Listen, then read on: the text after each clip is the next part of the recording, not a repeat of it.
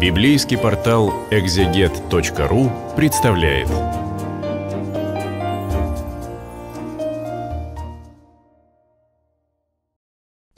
Здравствуйте! На портале Экзегет.ру с вами протерей Дмитрий Сизаненко из Санкт-Петербурга.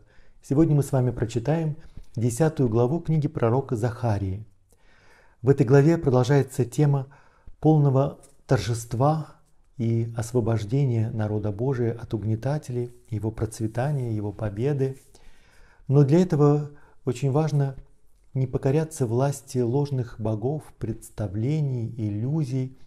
Сердце должно безраздельно принадлежать Богу. Поэтому пророк начинает в этой главе с того, что именно у Бога нужно просить благодеяний. Просите у Господа дождь весной – нужно понимать, что сезон дождей – это зима. Весна очень короткая, и очень часто бывают облака, но они не заканчиваются дождем. И поэтому вот этот образ «просите у Господа дождь поздней весной» – это Господь собирает грозовые тучи, Он дает вам обильный дождь, буквально ливневыми дождями, одаряет землю – Именно Он дает каждому злаки на поле. То есть буквально все живущие могут пользоваться теми растениями, которые живут на полях. И почему же возникает этот вопрос? Потому что у народа всегда возникает соблазн поклоняться производительным силам земли. Те, которые приносят урожай, которые обеспечивают плодородие земли, они становятся божествами и кумирами, точно так же, как для современного человека кумиром может стать богатство или какие-то политические идеи настолько, что человек забывает обо всем остальном. И пророк напоминает, что нет, не забывайте, что поскольку вся земля принадлежит Богу, Он ее сотворил, именно Он подает дождь, и в той мере, в какой у вас будут правильные, доверительные, искренние отношения с Богом, Творцом, Он вас одарит всем, в чем вы испытываете нужду. Истуканы вещают бред. Гадатели видят пустые видения. Сновидцы рассказывают лживые сны и утешают впустую. Потому-то народ искитается, словно овцы, и бедствует без пастыря. Образ запустения, когда народ Божий теряет ориентиры в жизни, он начинает прислушиваться голосам гадателей, имеются в виду конкретные языческие гадатели, которые видят видение, но то, что они видят, это в действительности есть обман, иллюзия. Их истуканы, употребляется слово терафимы, э, те идолы, которые использовались для гадания, они вещают бред, ложь. Все, кто э, рассказывает свои сновидения, не только чародеи, но вот такие провидцы, они все это придумали, это ничему не соответствует. И поэтому все слова утешения, все, что они вам обещают, все это впустую. Ничего этого не будет. Э, в современном мире мы сталкиваемся на каждом шагу с такими утешителями, с такими гадателями, вещателями.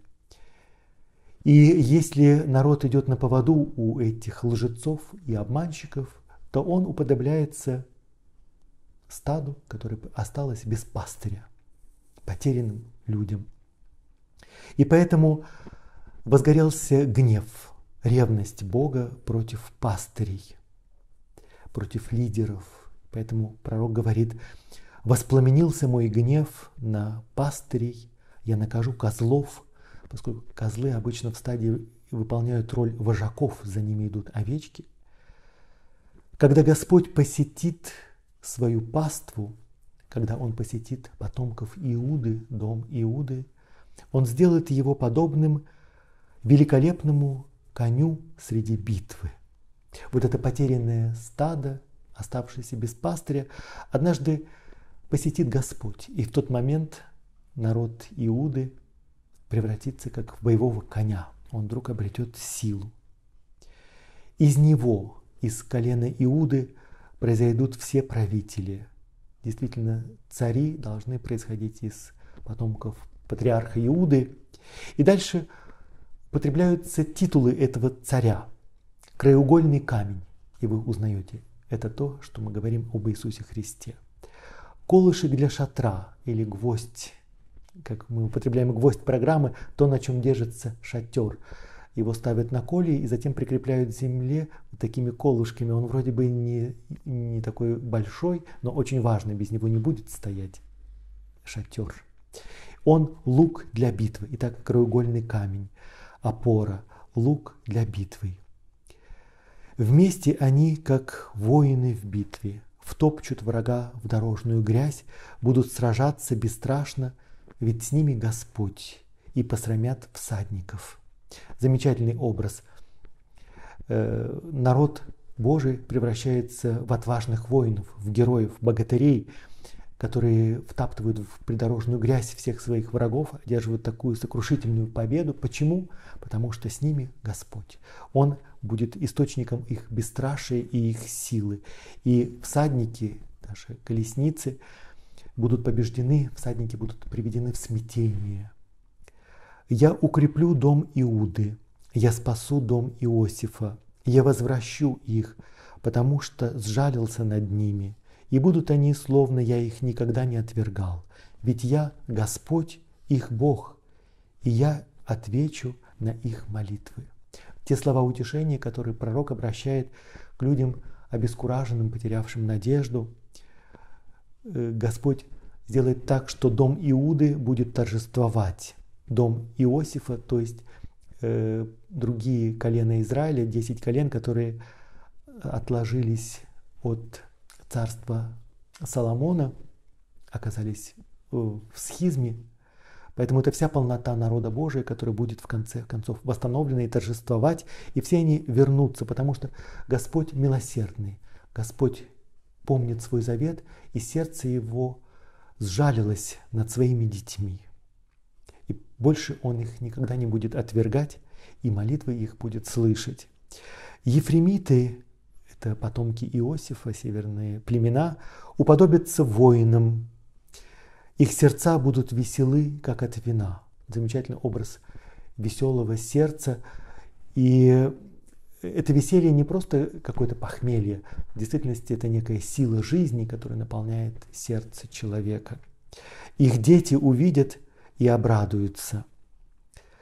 Их сердца возликуют о Господе. Вот это замечательный образ, что в действительности этим вином, которое веселит сердце, будет не алкогольный напиток, но сам Господь и одновременно это будет и сила, и радость, и утешение.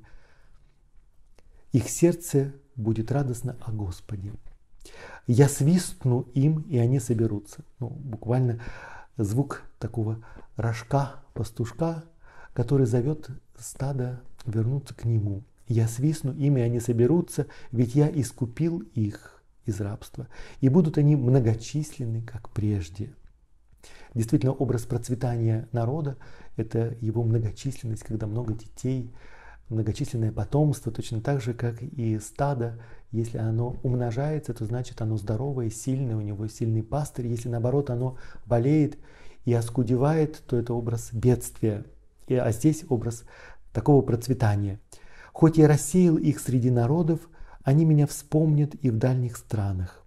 Они и их дети выживут и возвратятся тоже слова утешения говорится о том, что хоть Господь и рассеял свой, свой народ по лицу земли, пусть и они оказались далеко от Родины, но они не забывают о Боге, даже на чужбине, и они воспитывают своих детей таким образом, что они сохраняют эту связь со Святой Землей, с Богом, и поэтому однажды они вернутся. До тех пор, пока сохраняется эта живая связь в сердце – Господь все может вернуть обратно.